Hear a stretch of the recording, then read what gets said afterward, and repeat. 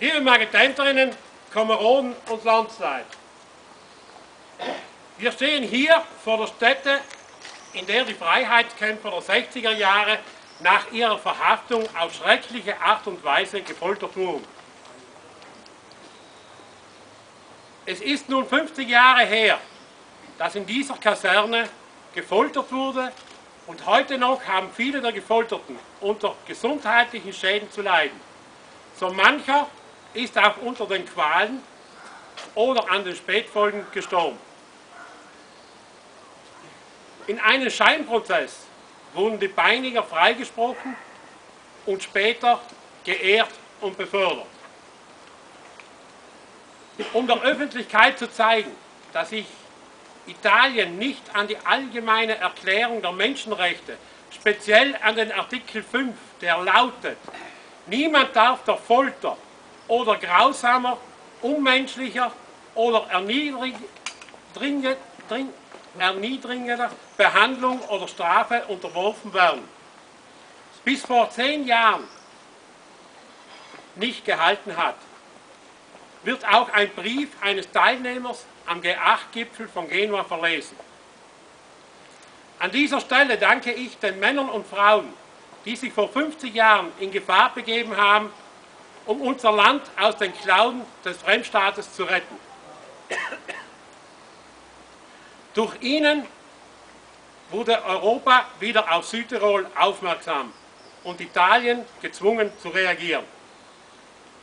Das Erreichte ist für die Freiheitskämpfer sicher zu wenig, denn sie setzen, setzen ihr Leben und Gesundheit für die Selbstbestimmung, das Los von Rom ein. Unsere Aufgabe ist es nur mit friedlichen Mitteln, dieses Ziel zu erreichen und uns auf den schnellsten Wege von diesem Staat zu verabschieden.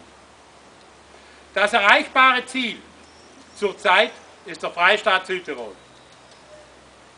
Nun wird unser Bezirkskurat, Pater Christoph Wallner, einen Folterbrief von Seth Mitterhofer an den damaligen Landeshauptmann Silvius Magnago vorlesen.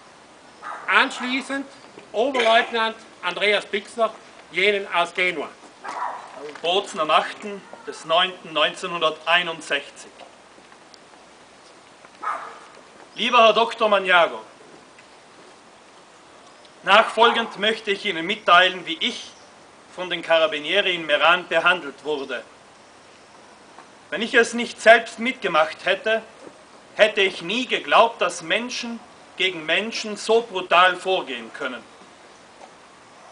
Am 15. Juli abends wurde ich von zwei Karabinieri in Zivil von zu Hause abgeholt. Man sagte, wegen Informationen. Das merkte ich sogleich, denn als ich vom Auto ausstieg, wurde ich gleich mit Fußtritten in die Kaserne gestoßen.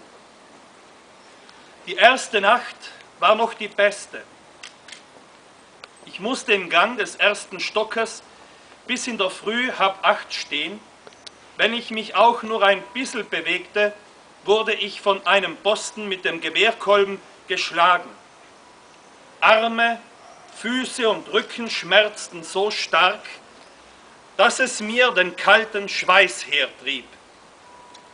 In den Zimmern nebenan hörte ich dauernd Personen schreien und stöhnen vor Schmerz. Im Ganzen musste ich zwei Tage und drei Nächte stramm stehen, ohne etwas zu essen, trinken und zu schlafen. In dieser Zeit wurde ich ungefähr 15 Mal verhört und dabei misshandelt. Mit Fußtritten wurde ich an den Füßen und am Hintern bearbeitet und auf den Zehen herumgetreten. Man drohte mir, Geschlechtshaare auszureißen und Gewichte am Geschlechtsteil anzuhängen. Am meisten geschlagen wurde ich ins Gesicht, dass ich so verschwollen wurde, dass ich später nicht mehr den Mund aufbrachte zum Essen.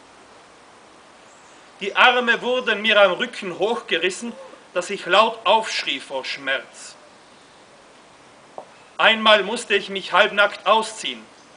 Dann wurde ich so lange mit Fausthieben bearbeitet, bis ich bewusstlos zusammenbrach. Wie lange ich bewusstlos war, weiß ich nicht. Als ich wieder zu mir kam, war ich ganz nass, weil man mich mit Wasser überschüttete. Öfters musste ich stundenlang vor brennendem Scheinwerfer stehen und hineinschauen, bis mir der Schweiß herunterrann und die Augen furchtbar schmerzten.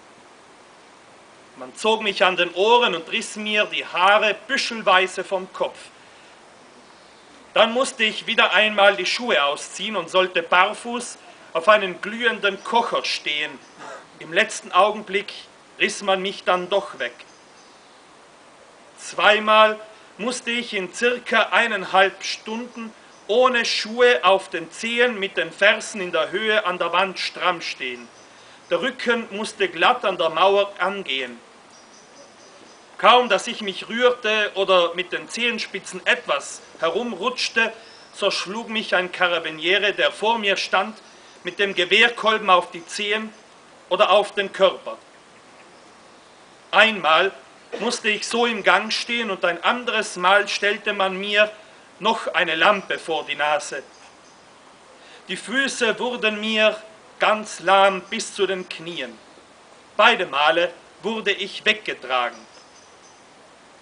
Es war in der dritten Nacht, ich war am Ende meiner Kraft und völlig willenlos. Dazu hatte ich noch einen fürchterlichen Durst. Öfters bat ich um Wasser zum Trinken. Meistens wurde es mir verweigert oder man ließ mir vor meiner Nase Wasser von einer Flasche ins Trinkglas rinnen und als ich gierig danach greifen wollte, riss man es wieder weg und verhöhnte und verspottete mich. Ein anderer Mann bat etliche Male, um seine Notdurft zu verrichten, gehen zu dürfen. Als es ihm nach langer Zeit endlich bewilligt wurde, konnte er sich vor Durst nicht mehr halten, zog an der Wasserspülung und schöpfte mit den Händen Wasser aus der stinkenden Apportschüssel zum Trinken. Ein Karabinieri verwehrte ihm auch das noch und schlug ihm dabei mit dem Gewehrkolben. Die Notdurft verrichten durfte ich höchst selten, jedenfalls nie, wenn ich das Bedürfnis hatte. Erst nachdem ich hundertmal gebeten hatte, und sie wussten, dass ich darunter gelitten habe, durfte ich auf den Apport gehen. Während der Misshandlungen wurden immer wieder Fenster und Jalousien geschlossen, damit draußen niemand etwas sah und hörte, was herinnen vor sich ging. Während der Verhöre waren meistens acht bis zehn Personen anwesend, von denen ich nur zwei namentlich anführen kann, und zwar Botzer und Schgör. Die Leitung von dem Trupp in Meran hatte Hauptmann Marzolla. Furchtbar waren auch die Drohungen, Flüche, die sie ausstießen. Wenn nur eine Kleinigkeit davon in Erfüllung ginge, dann müssten wir schon längst alle beim Luzifer sein. Ich habe zwar nur etwas davon verstanden, weil ich nur wenig Italienisch kann, aber ich sah es auch an ihren hasserfüllten Gesichtern. Unter solchen Umständen wurde ich gezwungen, Sachen zu unterschreiben, von denen ich vorher gar nichts wusste. Ich war körperlich und seelisch so fertig, dass ich alles tat, was sie wollten. Ich hatte nur mehr den einen Wunsch, endlich von den fürchterlichen Qualen und von der Bein loszukommen. Ich bin ein Bauer und verstehe nicht viel, aber dass so etwas in einem christlich-demokratischen Land geschehen darf, und wir trotzdem noch Vertrauen haben sollen, das kann ich wirklich nicht begreifen. Aus dem Bozner Gefängnis grüßt sie ergebenst Josef Mitterhofer.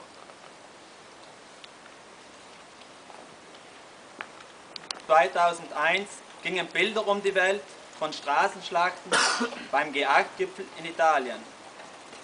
Zu sehen und zu hören war von Schlägen, Tritten und Reizgas.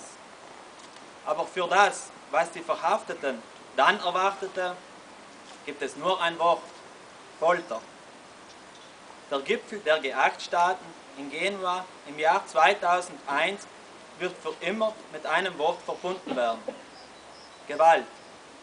Gewalt auf den Straßen und Gewalt im Gefängnis in Bolzaneto, wo 55 Verhaftete und 252 Festgenommene in einem verfassungsleeren Status festgehalten wurden. Das Urteil wird den Angeklagten persönliche Verantwortung und Strafen zumessen. Am 15. April 2011 wurde die Urteilsbegründung in zweiter Instanz am Appellationsgericht hinterlegt. Die Tatsachen aber, die während der Verhandlung rekonstruiert wurden, sind nicht mehr in Zweifel zu ziehen. Sie wurden gesichert, dokumentiert und bewiesen. Und sie zeigen, dass Italiens Demokratie drei Tage lang jene feine, aber unzerstörbare Grenzlinie überschritten hat, die Menschenwürde und Menschenrechte schützt. Die Staatsanwälte Patrizia Petruziello und Vittorio Ranieri Mignati schreiben in ihrer Anklageschrift, dass nur Vorsicht sie abhalte, vom Folter zu sprechen. Man sei sicher der Folter sehr nahe gekommen. Aber die Anklage war hier machtlos. Sie musste in Strafbestände und Strafen übersetzen, was sie von den Aussagen der 326 Zeugen im Gerichtssaal dokumentiert hat. In Italien gibt es die Folter nicht als Straftat. Das Parlament fand nie die Zeit und sah sich 20 Jahre auch nicht in der Pflicht dazu, das Strafgesetzbuch an international gültiges Menschenrecht anzupassen, an die UN-Konvention gegen Folter, die Italien 1988 ratifiziert hat. Nur die Regierung Prodi hat im Dezember 2006 in der Kammer ein Gesetz durchgebracht, das die Folter als Strafbestand einführt, aber das Gesetzesdekret kam leider nie zur definitiven Abstimmung in den Senat. Die nicht verjährten Strafen wurden nebenbei durch den Straferlass getilgt, da die italienische Strafordnung Folter als spezifische Straftat nicht anerkennt.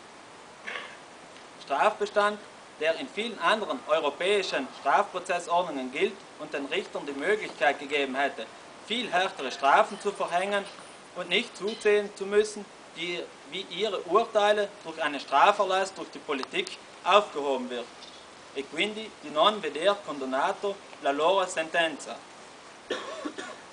In der Urteilshinterlegung lesen wir, dass der hohe Polizeibeamte Perugini das absolute Bewusstsein bezüglich der Ungesetzlichkeit der Führung der untergebenen Beamten, welche auch in der intellektuellen Wahrnehmung des öffentlichen Beamten als Fremdkörper im juridischen System der westlich zivilisierten Staaten gilt, welches sich dadurch auszeichnet, dass dem Verhafteten die absolute physische und moralische Integrität zugestanden werden muss und dass das Freiheitsrecht ohne gegenteiligen Richterspruch garantiert werden muss. Die Richter schreiben weiter, sich gruppenmäßig dem Nationalsozialismus und Faschismus, dem Vernichtungsprogramm gegen die Juden, der Unterdrückung des Individuums und seiner Entwürdigung gerade im Moment, wenn die angezeigten Straftaten begangen wurden oder im zeitlichen Moment vor oder nach der kriminellen Tat, drückt die höchste Schande aus, welche sich ein öffentlicher Beamter beflecken kann. Die Richter schreiben weiter, diese Apologie auf die niederen Werte der rassistischen, totalitären Regimes ist nicht nur ein antiethisches Verhalten gegenüber den Grundprinzipien und Werten der Verfassung, welche gerade deswegen so niedergeschrieben wurde, um als juridisches Bollwerk gegen die Prinzipien und die niederträchtigen Werte dieser verabscheuungswürdigen Diktaturen zu wirken, sondern auch der unmoralische, unmoralische Verfall, mit welchem sich ein öffentlicher Beamter der Exekutive der italienischen Republik, der auf die Verfassung geschworen hat, beflecken kann. Fakt ist das. Auch hier ein Prozess zehn Jahre dauerte, bis, er, bis in der zweiten Instanz lächerliche Strafen verhängt wurden, die verjährt waren bzw. durch Strafnachlass annulliert wurden. Dass viele schuldig gesprochene Beamte der oberen Befehlskette während des laufenden Verfahrens nicht nur vom Dienst suspendiert wurden, sondern sogar befördert wurden. Die renommierte britische und Berlusconi-kritische Zeitung The Guardian urteilte das Geno und sagt, dass, wenn der Staat sich bedroht fühlt, die Regeln der Gesetze außer Kraft gesetzt werden können. Überall. In Südtirol vor 50 Jahren, in Ligurien vor 10 Jahren. Der Staat ist derselbe. Dies sollten wir Tiroler nie vergessen.